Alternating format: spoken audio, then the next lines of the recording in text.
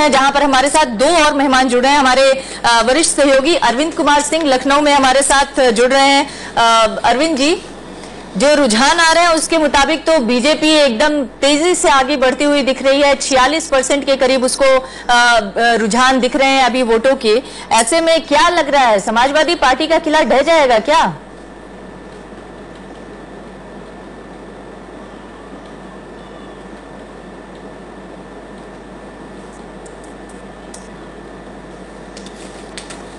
अरविंद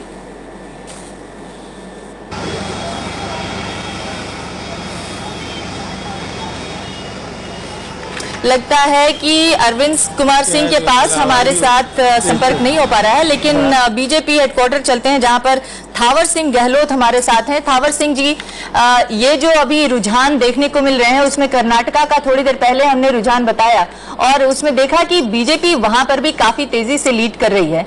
लेकिन आप लोग क्या आप मानते हैं? कि, किस वजह से आप लोगों की लीड चल रही है? क्या येदुरप्पा को साथ लेने का फ़ायदा हुआ वहाँ पे? या फिर कांग्रेस पिछले छह महीने या साल भर के अंदर ऐसा काम कर गई जिसको लोग पसंद नहीं कर रहे हैं ज़्यादा? वहाँ प्रमुख कारण ये रहा है कि भारतीय जनता पार्टी की जब सरकार थी तो वो देश के अन्य राज्यों के साथ साथ कर्नाटक का भी तेज गति से विकास हुआ था। और भाजपा की सरकार जाने के बाद वहाँ जो कांग्रेस की सरकार है वो जन समस्याओं के समाधान की दृष्टि से या जन आकांक्षाओं और इच्छाओं की पूर्ति करने की दृष्टि से असफल रही है।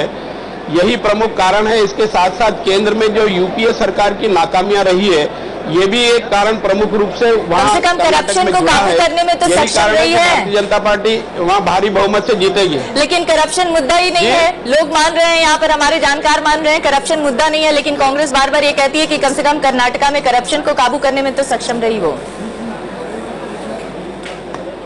देखो करप्शन का जहाँ तक प्रश्न अगर उठता है तो केंद्र की यूपीए सरकार ने दुनिया के सब देशों के रिकॉर्ड तोड़ दिए हैं। बेईमानी भ्रष्टाचार महँगाई काला धन कमाने वालों को संरक्षण देने का जो काम किया है यूपीए सरकार ने और एक कांग्रेस को एक परिवार की पार्टी बना दिया ये भी एक बहुत बड़ा कारण कर्नाटक के चुनाव प्रभाव को प्रभाव को प्रभावित कर रहा है। और भारतीय जनता पार्टी की राज्य सरकारों ने जो अच्छा काम किया है कर्नाटक ने भी अच्छा काम किया है उसका परिणाम है कि कर्नाटक में फिर से भारतीय जनता पार्टी भारी बहुमत से जीत रही है। अच्छा कर्नाटक की बात छोड़े अगर उत्तर प्रदेश की बात करें तो वहाँ पे कौन सा फैक्टर काम कर रहा है? आप लोग का बड़ा तेज़ी से उभार देखने को मिल रहा है। उत्तर प्रदेश में तकरीबन 45-46 परसेंट वोट से आप आगे चल रहे हैं वहाँ। उत्तर प्रदेश से लगा हुआ मध्य प्रदेश है। थोड़ी दूरी पर राजस्थान भी है छत्तीसगढ़ भी है।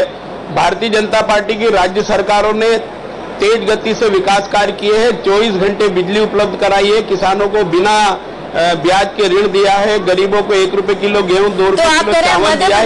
राजस्थान का असर उत्तर प्रदेश में देखने को मिल रहा है? उत्तर प्रदेश मध्य प्रदेश और राजस्थान के, है, असर हिसाब से नहीं चलता सर। एक चीज़ मैं कहना चाहता हाँ। मनीष जी ने कहा कि गवर्नमेंट की नहीं मैं यूँ कह रहा ये हूँ जो- जोशी जी बोल लीजिए आप अपना सेंटेंस पूरा अच्छे काम किए उसका असर भी है और फिर और फिर नरेंद्र मोदी जी ने जो विकास के प्रतीक के रूप में हाँ। अपनी छवि बनाई है हाँ। उसका भी बहुत बड़ा असर है नरेंद्र मोदी जी की लहर भाजपा की लहर और हम ये ज़रूर कह सकते हैं कि लहर अच्छा काम काम कर यहाँ पे है। लहर काम कर गई एक चीज़ मैं स्पष्ट करना चाहता हूँ गवर्नमेंट की फेलियर जो कहते हैं ना वो दूसरी तरह की फेलियर थी। मैनेजिंग परसेप्शन की फेलियर थी। अगर इकोनॉमिक ग्रोथ देखें मैं अर्थशास्त्री हूँ पिछले दस साल में 7.8 परसेंट ग्रोथ रहा। जी तीन सालों को छोड़ के। तीन सालों में तो अप एंड डाउन तो पहले तीन साल भी छोटे थे। पहले तीन साल भी जब एनडीए सरकार छोड़ी थी तो फोर परसेंट पे था। तो उन्होंने उठा के लाया। दस परसेंट से दस परसेंट तक चले गए तीन साल लगातार दस परसेंट के करीब थे। इस परफॉर्मेंस को इस दस साल की परफॉर्मेंस में शायद मेरे ख्याल में आगे अगले बीस साल तीस साल के इतिहास में इसको कोई रिपीट नहीं कर सकता। नहीं कर सकता। क्योंकि और उसके बावजूद लोग उसको खराब परफॉर्मेंस के लिए ये, दे ये एक चीज़ है इसमें इनकी सक्सेस है और इनकी जो फेलियर है हाँ। फेलियर है वो वैल्यूज़ इश्यूज़ पे चला गया हाँ। कि और दूसरी चीज़ है इन्फ्लेशन हुआ ये समझा नहीं सके लोगों को हाँ। कि आपकी नहीं लेकिन आप एक अर्थशास्त्री हैं आज जो हमारे दर्शक इस समय टीवी चैनल देख रहे हैं उसको ये बताइए कि कैसे जब ग्रोथ होती है तो महँगाई भी बढ़ती है क्योंकि जब इनकम इसे इन्फ्लेशन दो वजह से होता है या सप्लाई साइड इन्फ्लेशन जब उत्पादन कम होता है या डिमांड साइड इन्फ्लेशन जब लोगों की आर्थिक परिस्थिति इंप्रूव हो जाते हैं तो वही उत्पादन के पीछे ज़्यादा पैसा लगता है। तो जब आपकी आमदनी बढ़ गई और आप कहेंगे कि हमको टमाटर वही दाम पे चाहिए जो पिछले दस साल से हम दे रहे थे तो नहीं मिलेगी आपको क्योंकि वो तो महँगाई टमाटर बेचने तो वाला महँगाई बढ़ गई। हर चीज़ लेकिन आम आदमी इस बात को क्यों नहीं समझ रहा है? तो मुश्किल इसको समझाने की नहीं नहीं महँगाई तो। दिमाग में बैठी है क्योंकि मेरा इनकम बढ़ गया है लेकिन मुझे टमाटर वही दो रुपए नहीं चाहिए। हाँ, हाँ, हाँ। ऐसा है कि जब प्याज का जो किसान है प्याज उपज करने वाला उसको भी तो उसी हिसाब से देना चाहिए ना अपने रेट वाजिब दाम मिलना चाहिए उसको। तो ये Terms of trade मोफतखोरी की हमारे समाज को आदत लगी। आदत हो गई कि एलपीजी गैस पे 540 रुपए सिलेंडर पे सब्सिडी मिलता है और एक लाख करोड़ की सब्सिडी है जो मिडिल क्लास अपर क्लास को जाता है। वो तो आम आदमी की जेब से निकल रहा है क्योंकि उसको जो लगाना है उसको जो मिलना है वो मिलता नहीं। या आप कैपिटल इन्वेस्टमेंट कीजिए सड़क बनाइए रोड बनाइए इंफ्रास्ट्रक्चर बनाइए उसके बजाय ये धुएँ उड़ा देते हैं घर पे और कहेंगे कि आप नहीं बढ़ा सकते। और जो मिडिल क्लास है अपर क्लास है अपने आप को आम आदमी कह लेते हैं। देखिए मैं मैं अगर इसमें एक लाइन कहूँ। मैनेजमेंट बहुत इंपॉर्टेंट लेकिन ये मैनेजमेंट हम लोग तो नहीं करेंगे ना कांग्रेस के लिए ये तो कांग्रेस को खुद ये तो, ये है। तो उसकी कमज़ोरी साबित हो गई क्योंकि अब जो जो मतदाता है उन लोगों ने अपने रुझानों से ये स्पष्ट कर दिया कि कांग्रेस कमज़ोर रही चाहे वो प्रचार में चाहे वो अपने काम को साबित करने में। हमारे एक मनीष जी ने कहा कि राहुल गांधी लीडरशिप अज्यूम नहीं करा। ये कैंपेन किसके नाम पे चला? किसकी पोस्टनेस लगे इनके अलावा इनके अलावा और कोई तो नहीं कह रहे कि रिस्पांसिबिलिटी नहीं ली। अगर रिस्पांसिबिलिटी ली होती तो रिज्यूम किए। नहीं होता है? एक्टिव रिज्यूम करना। Jaynarayan Vyas of the BJP of course post of the BJP joining us right now from Gujarat of course mister mister Vyas Uh, I can see a smile on your face. You seem to be extremely happy at the moment. The BJP, there's a sea of orange across uh, central India, and uh, and Gujarat as well is covered in the sea of orange. Of course, what what do you attribute this this particular uh, leads that we see as far as the BJP is concerned too? Well, I would say mainly three factors are responsible for that. The first one is the people themselves, the voting that they have done and the kind of right that they have exercised. That is the first thing which is coupled with election commission's efforts to see that the maximum voting takes place. The second is the campaign that was laid from the front by Shri Narendra Modi and the kind of hope that he was able to create in the minds of people who believed him and who have thronged with a major support to uh, Mr. Narendra Modi's uh, leadership. The third, I would say, is the negative policies of the UPA 3 which suffered from the policy paralysis. I was just listening to this discussion that the, the prices of vegetables were not in the hands. You know, food price, food price inflation was maximum 20 percent.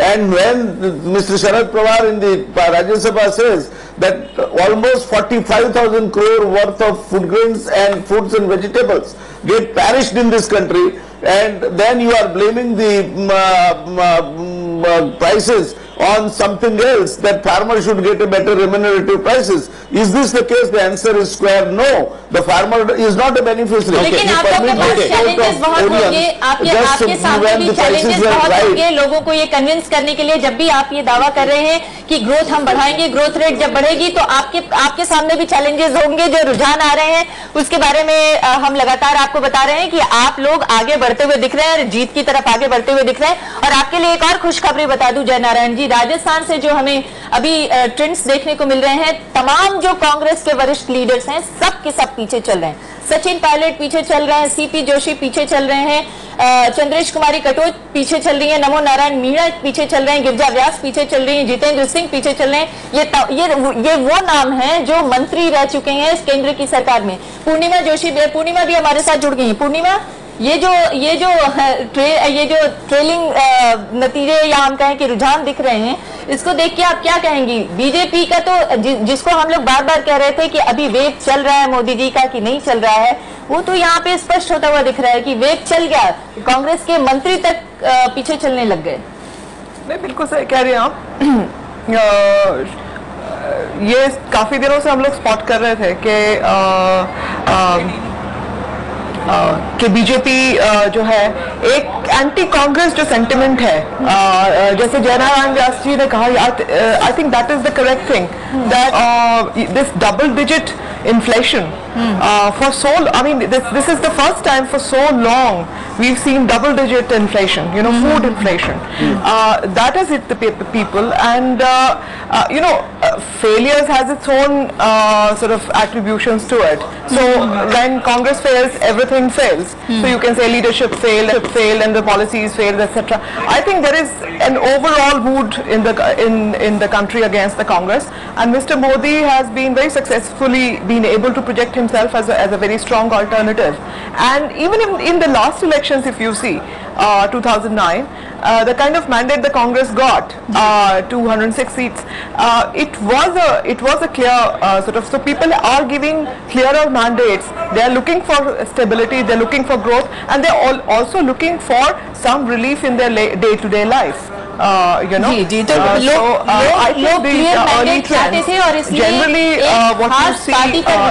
और उस तरफ़ जाते हुए दिख रहे हैं।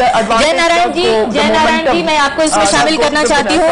एक और ट्रेंड दिख रहा है बीजेपी 62.2 परसेंट से लीड कर रही है गुजरात में और कांग्रेस को सिर्फ़ छब्बीस परसेंट वोट लीडिंग फ्रंट के रूप में दिख रहे हैं। तो बीजेपी जो जिस, जिसने तीन साल से मतलब तीन दौर से वहाँ पर राज किया है, वो अभी भी अपना गढ़ बरकरार रखने में और उसको उसके वोटिंग परसेंटेज को बढ़ाने में एक तरह से कामयाब होती हुई दिख रही है यहाँ पे।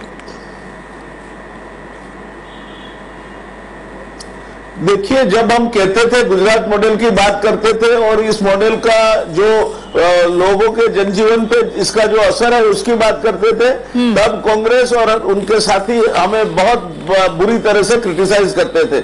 मैं कहूँगा कि इतना सारा लंबा अरसा गुजरात में शासन करने के बावजूद भी एंटी इनकम्बेंसी कहीं नहीं दिख रही है। उसका अगर कोई मायना है तो ये है कि गुजरात में जिस तरह से शासन चला और जिस तरह से शासन के ज़रिए जो लोगों तक इसकी जो फल पहुँचे काफ़ी हद तक ये इसके लिए जिम्मेवार है।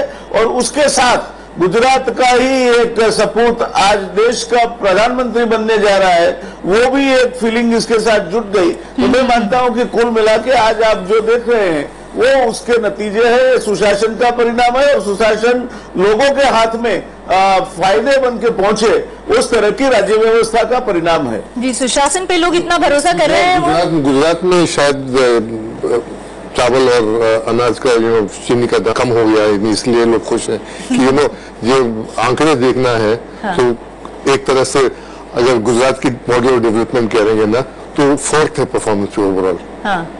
उसके आगे दूसरे भी राज्य हैं। और इसको ये अलग ये अलग बात है। हाँ, ये वो, अलग विकास के मॉडल को अगर हाँ, हम छोड़ हाँ, दें लेकिन ये तो है कि सुशासन पे लोग विश्वास कर रहे हैं और आज अगर गुजरात का चौवन परसेंट मतदाता माफ़ कीजिएगा साठ परसेंट से ज़्यादा मतदाता अगर बीजेपी पे भरोसा कर रहा है तो कहीं ना कहीं उसके तमाम जो कमियों के साथ उसको स्वीकार कर रहा है। इसमें दो उन्होंने काम ठीक ही किया। मैं कहता हूँ कि सुशासन नहीं था। सुशासन था और एक रीजनल नेशनलिज्म भी है एक सेंस ऑफ़ प्राइड भी है जो ट्रांसलेट हुआ कि, कि हमारा बेटा सुपुत्र देश का नेता बनने वाला है ना, उसके लिए वो भी सेंस ऑफ़ प्राइड यहाँ पे काम कर रहा है और, कर रहा और है वो भी काम करता है ये बड़ा एक फैक्टर हो जाता है कि होम ग्राउंड पे है। मगर ये कहना अभी मुझे इनकी कठिनाइयाँ मुझे कुछ महसूस हो रही है। कल एमजी वाजिया ने कहा कि अगर बीजेपी को स्पष्ट बहुमत मिल जाता है तो राम मंदिर खड़ाना है।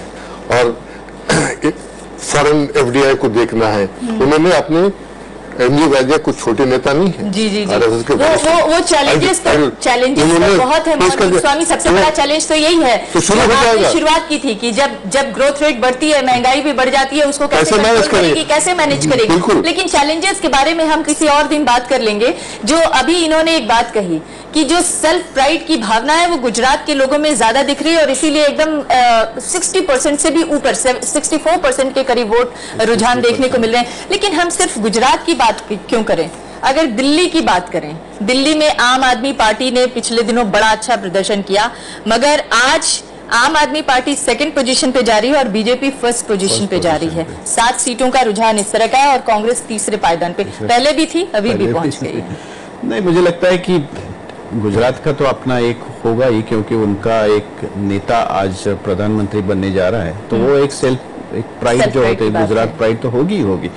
लेकिन जो हम पहले भी चर्चा कर चुके हैं कि देश में एक माहौल बना था कि कांग्रेस को बदलना है, कांग्रेस के खिलाफ वोट देना है। ये एक जो पब्लिक परसेप्शन बनी थी पिछले दो तीन साल से विशेषकर कि नहीं, ये बहुत हो गया, अब हमें बदलाव चाहिए। और वो बदलाव की जो जनता के मन में जो भावना, मुझे लगता है बीजेपी में, बीजेपी ने और ऑब्वियसली नरेंद्र मोदी ने अच्छी तरह से उसको अपने पक्ष में कर दिया। और मुझे लगता है ये जो नतीजे आ रहा है वो उसी का परिणाम है But have the expectations also been raised because of this? But have the expectations also raised? Obviously, of course, they have been raised, and I, I, I'm sure, uh, you know, as time passes and once he takes over, which, which looks uh, the most likely Most scenario, likely, so uh, he will also face problems. He will also get exposed to a lot of uh, problems. Uh, uh, uh, many of them created by his own party and allies. Allies. Of that, there is no doubt. But what I am trying to say is, you know, we need to understand this man started his campaign five years ago.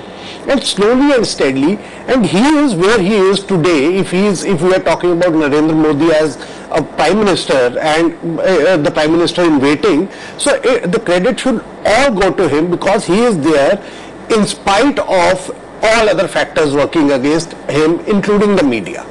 You know, so if, if, if you have to give him credit. How can you take, uh, you know, we will, we will say Congress, you know, helped him, everybody helped him, but Let's- somebody let's has take to use that. a moment to the screen, of course. The, the Congress's figures have come, come down considerably, of course. Uh, it, it was as high as 98. It has come down to 85 now, of course. This is uh, the UPA at 85. It seems like the UPA is doing terribly this time around and it might not even cross uh, uh, the, the, the 100 figure, of course, because these are trends that we are getting from 510 seats. Priyanka Chaturvedi, you were saying that these are early trends, of course, but Okay, we seem to have lost Priyanka, Priyanka of course, but uh, I mean, it, it seems difficult, doesn't it, for, for the Congress now to cross 100 and, and the, the news only gets even worse because we're getting trends from Amethi and Rahul Gandhi is trailing from Amethi as You well. know, what is unfortunate is, uh, Priyanka, she, she was in this war of words with me, but these people have to understand that they cannot talk down to voters.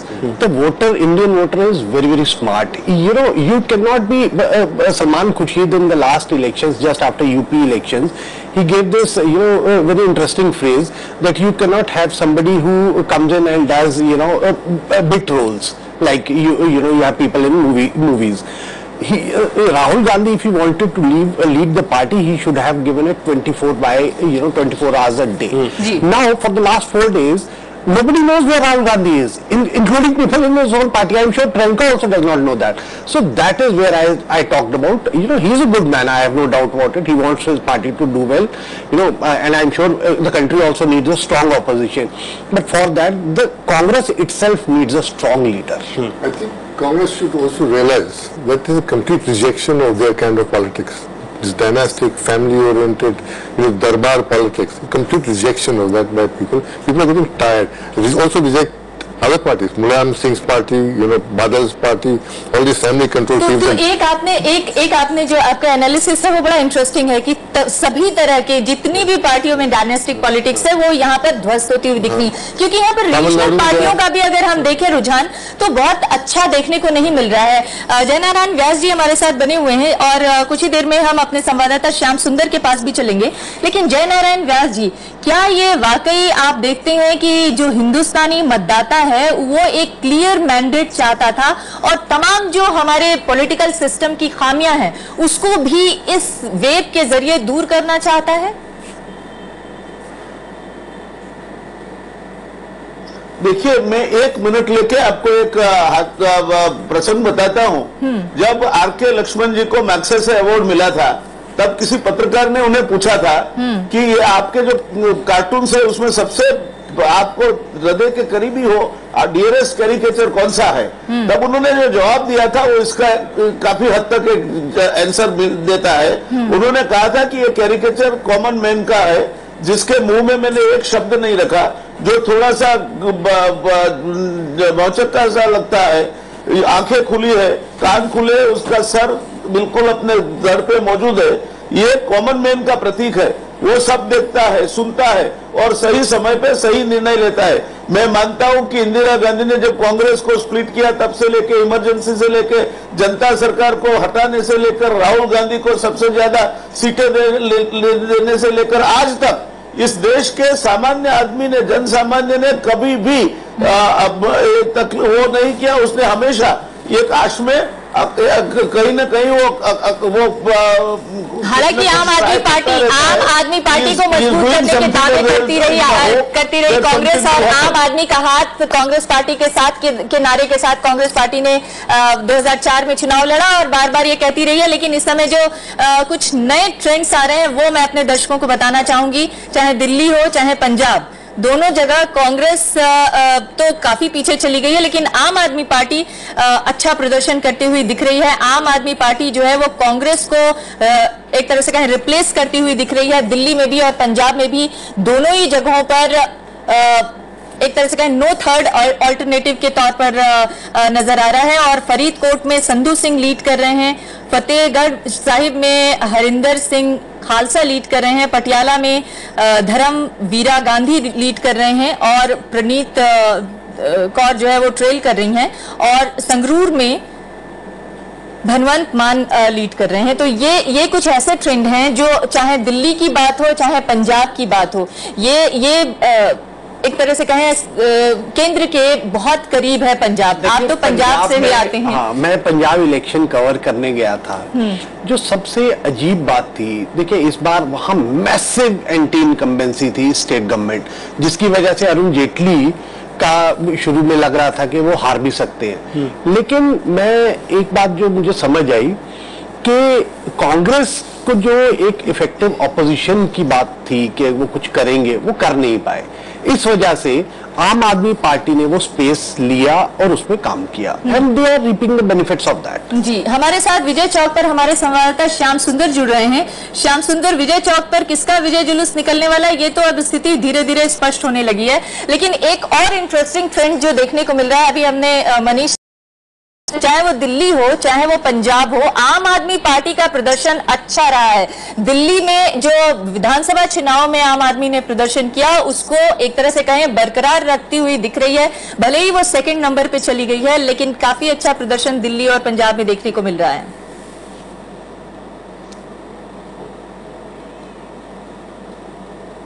Well, we seem to have lost the audio there, of course, with Sham Sundar. We'll try and reconnect with him and uh, get that line in, intact. But let's take a look at some of the other figures now. Of course, we'll break down uh, the, the, the NDA and the UPA figures for you, of course. Uh, at the moment, it seems like uh, the BJP is way ahead. 250 plus at the moment uh, is what the BJP is standing at. Uh, Shiv Sena is, uh, has, has managed uh, to uh, lead in 16 of those seats. TDP in 13, of course. Uh, that, of course, is mainly from the Simandra region. Uh, Shiromani Akali Dal, of course, doing well. Uh, four seats there. LJP in three. And uh, if you look at the UP, of course, the Congress is at 62. Uh, NCP 6, RJD 4, IUML 2, and of course, uh, so on and so forth. Some of the other allies there with one seat. Uh, let's go back to Sham, of course, at the moment. Uh, Sham, uh, go ahead. Well, Frank, uh, as Amrita was saying, in uh, whether it's Punjab or Delhi, Aam Party seems to repl- replacing Congress is uh, very right. Uh, I was traveling in Punjab, and uh, uh, there in many constituencies we have seen that Congress was looking pretty good because there was anti-incumbency factor working against Akali Dal government, and senior BJP leaders were apprehensive about you know even the victory of Mr. Arun Jaitley. But then Aam Aadmi Party, the, the way they uh, uh, try to uh, connect with the common people of uh, Punjab, the way Aam Aadmi Party uh, uh, promised the, an inquiry in uh, 1984 uh, Sikh riots, and then the way they they raised the issue of drugs in Punjab. I think Aam Aadmi Party was able to convince people of Punjab more than Congress, and I think there was another another factor working in uh, uh, Punjab that Shyam- that was I think Narendra Modi यहाँ पे रोकना चाहती हूँ। जब अंग्रेज़ी में सवाल पूछे जाते हैं तो जीतने वाली पार्टी बीजेपी हिंदी में जवाब देती है। और आम आदमी पार्टी की जो प्रतिनिधित्व आम आदमी का जो प्रतिनिधित्व करने वाली आम आदमी पार्टी है वो भी हिंदी में बोलकर अपनी बात को ज़्यादा लोगों तक पहुंचाती है। इसलिए मैं चाहती हूँ कि एक बार हिंदी के दर्शकों के लिए भी आप ये बताइए कि आम आदमी पार्टी किस तरह से अपनी जगह को मेंटेन करते हुए कांग्रेस को रिप्लेस कर रही है जबकि कांग्रेस पिछड़ती जा रही है। जी बिल्कुल, अमृता जैसा मैं कह रहा था कि पंजाब में हम लोग जब ट्रेवल कर रहे थे, एक वक्त में ऐसा लग रहा था कि कांग्रेस का प्रदर्शन वहाँ काफ़ी अच्छा रहने वाला है और उसकी वजह बिल्कुल साफ़ थी कि अकाली दल के खिलाफ वहाँ पर एक एंटी इनकम्बेंसी फैक्टर नज़र आ रहा था। अब जिस तरह के प्रोमिस वहाँ पर अकाली दल ने किए थे, शायद वो पूरे नहीं कर रहे थे, उनकी अपेक्षाओं पर खरे नहीं उतर रहे थे और वहाँ पर कांग्रेस के कई बड़े नेता, कद्दावर नेता वहाँ पर उतरे हुए थे, चाहे अंबिका सोनी की बात करें, कैप्टन अमरिंद्र, अमृतसर से चुनाव लड़ने के लिए तैयार हुए, अरुण जेटली के खिलाफ प्रताप बाजवा की बात करें तो कुल मिलाकर ऐसा लग रहा था कि कांग्रेस ने वहाँ पर जो एंटी इनकम्बेंसी फैक्टर है, उसको समझा और उसको हेड ऑन लेने की अकाली दल गवर्नमेंट का हेड ऑन लेने का एक संदेश देने की कोशिश की। लेकिन आम आदमी पार्टी ने जिस तरह से कनेक्ट किया, जिस तरह से पंजाब में उन्होंने उन्नीस के सिख विरोधी दंगों की इंक्वायरी की बात की हो या जो नशे का मसला है, पंजाब में बहुत बड़ा मुद्दा है, उसकी बात की हो तो कहीं ना कहीं आम आदमी पार्टी ज़्यादा कामयाब रही आम लोगों के साथ वहाँ पर कनेक्ट बनाने में। और दूसरा राष्ट्रीय स्तर पर क्योंकि ये लग रहा था कि कांग्रेस बहुत बड़ा ब- ब- ब- बड़ा प्लेयर के तौर पर इस बार इस बार उभर कर नहीं आ रहा तो शायद ये भी वजह है एक और चीज़ एक और चीज़ देखने को मिली है लौटेंगे आपके पास शाम एक और चीज़ देखने को मिली है दिल्ली की बात करें। दिल्ली में जब उनचास दिनों की सरकार गई आपकी खुद ही उन लोगों ने इस्तीफा दिया सरकार से। तब ऐसा लगा था कि शायद आम आदमी पार्टी से लोगों का भरोसा कुछ घट रहा है, लेकिन इन रिजल्ट्स को देख के अभी तक ये कहा नहीं जा सकता। देखिए जब जिस समय दिल्ली की इलेक्शंस हुई और जब आम आदमी पार्टी, उसके बाद सरकार बनी कांग्रेस के समर्थन से, उस समय भी एक बात जो कई लोगों ने नहीं समझी, लेकिन जो विश्लेषक थे वो मान के चल रहे थे कि जो आम आदमी पार्टी का वोट बैंक है वो कम नहीं हुआ है। और जो बीजेपी का वोट बैंक अगर आप पिछले रिजल्ट्स भी देखें जो असेंबली इलेक्शंस के थे तो बीजेपी का जो वोट बैंक था काफ़ी हद बड़ा था। और इस इलेक्शन में भी वो कंसोलिडेट हुआ है कम नहीं हुआ है। नहीं नहीं आगे बढ़ा हाँ। पिछली बार से ज़्यादा आगे गया तो वही मैं कह रहा हूँ कंसोलिडेशन हुआ है। अब मज़े की बात यह होगी कि कल को अब दोबारा दिल्ली में चुनाव होने की संभावना है। कल को आम आदमी पार्टी दिल्ली इलेक्शन में क्या करती है और उसका प्रदर्शन कैसा रहता है इस अगर अभी के हम रुझान देखें तो मुझे लगता है कि आम आदमी पार्टी कांग्रेस की जो हैं, हाँ। कुछ सीटें आई थी वो भी अब कांग्रेस को नहीं रहेंगी जी नहीं नहीं आम आदमी पार्टी का जो the way they are holding on still उसका एक कारण ये है कि आम आदमी पार्टी के जो अब मैं थोड़ी दूसरी भाषा में जो सोसाइटी में जो लोग रहते हैं और जो उनके साथ विधानसभा में गए थे वो शायद इस बार वो मोदी बीजेपी के साथ गए हैं। लेकिन जो निचला तबका है वो आज भी आम आदमी पार्टी के साथ है। आम आदमी पार्टी जो कहती है कि कांग्रेस और बीजेपी ने हमको काम करने नहीं दिया उस पर उसका विश्वास है। मिडिल क्लास का नहीं है। तो इसलिए मुझे लगता है कि वो दे आर होल्डिंग ऑन आम आदमी पार्टी इन दिल्ली हमारे साथ पटना में जेडीयू के कैबिनेट मिनिस्टर पी के शाही जी जुड़ रहे हैं। शाही जी अभी तक के जो रुझान आ रहे हैं उसमें तो बीजेपी काफ़ी आगे जाती हुई दिख रही है। आप लोग बीजेपी से अलग होकर कुछ गलती तो नहीं कर बैठे हैं? शाही जी क्या हमारी आवाज़ सुन पा रहे हैं आप?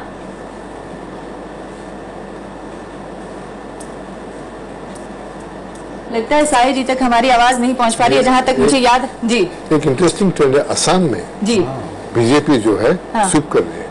असम। असम में। असम में जहाँ पर कांग्रेस का तीन बार मुख्यमंत्री हो चुका और लगातार असम में उसकी बढ़त आए हैं और और लोग अभी भी कहते थे कि सारे पोस्ट कह रहे थे कि वो वहाँ जीतेंगे। जी। मगर फिर वो हार से दस मेरे ख्याल से बीजेपी की तरफ़ जाते हुए नज़र आ रहे जी तो जो भी नतीजे या रुझान अभी तक देखने को मिल रहे हैं, उसमें बार बार यही देखने को मिल रहा है कि भारतीय जनता पार्टी काफ़ी आगे जा रही है। और अभी एक और रुझान सामने आया है, वो है भारतीय जनता पार्टी का ओवरऑल रुझान, जो जो सैंतीस दशमलव सात परसेंट देखने को मिल रहा है। कांग्रेस पार्टी का सत्ताईस दशमलव पाँच परसेंट, दस परसेंट का फ़र्क दोनों के बीच में देखने को मिल रहा है। और All India United Democratic Fund A I DF जो हम कह सकते AIUDF, वो हैं बदरुद्दीन एआईयूडीएफ आजमी- एआईयूडीएफ का जो है वो साढ़े बारह परसेंट के आसपास है और इंडिपेंडेंट एक परसेंट तेरह परसेंट के हिसाब से ये नतीजे देखने को मिल रहे हैं अ, Total of 13 seats there. Of course, the BJP ahead in eight, uh, the Congress uh, in two, uh, AIUDF in two, and uh, of course an inde- independent candidate in one. So, uh, anti-immigration mood. Mood. Yeah, yeah, yeah. It is only a code word for anti somebody else, but it has caught on, you know, and that No, no, there was also a version of Muzaffarnagar in Assam because uh, we had we had seen some riots During the election, very before the uh, election. before the elections. So last year, this- also, that- that- that Rohan, is- has, has Hindutva trumped caste this time around? Well, I don't know if Hindutva is some kind because we don't know what Hindutva is. Is. You know, it's it's a it's an amorphous, it's an amorphous a way animal. of life. But, but, but the establishment of Hindu Rashtra is a declared goal of the RSS. Hmm. You know that we know what it is. So that is stated and written. No, has that, has that had a considerable effect this time around? Well, you know, That's the question. you see, you have benefited by for other reasons. It's a rejection. It's not a positive vote. It's a rejected. It's a rejection vote. No. So you know, to say that it's a mandate for all this, we will only know when the next elections come hmm. and what happens in the next four years. Hmm. You know, you can divide the country, you can fracture the country. Hmm. It's a it's a country of 11,000, 12,000 groups. You know, the, a country of minorities. You, you can fracture that minority. Even now you're seeing a trend here. We, we, we, we're, getting, we're getting figures, of course, all India figures as well. 403 seats uh, on the whole. The BJP is ahead with 37.2% of the votes. Uh, the Congress, of course, 26.8. Aam Aadmi Party with 3.3%. So, if you look at the percentage, it, it, it is considerable for the BJP. But but but in, uh, if you look at the number of seats, it's far more, uh, you know, bigger. That is always the case. They're punching above their. You know, Yes, yeah, yes. not punching about the weight, you know.